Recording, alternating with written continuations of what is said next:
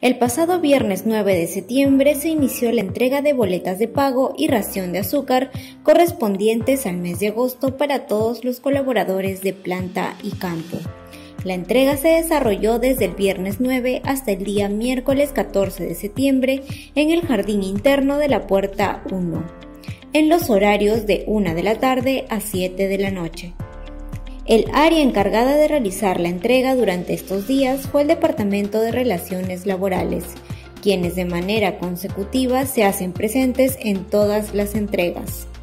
Si en caso no pudiste acercarte en los horarios establecidos y difundidos por los correos, y difundidos por los correos y vía WhatsApp a recoger tu boleta de pago, podrás hacerlo acercándote al Departamento de Relaciones Laborales esta actividad se viene realizando de manera mensual, cumpliendo con todos los protocolos de bioseguridad que ha implementado la empresa.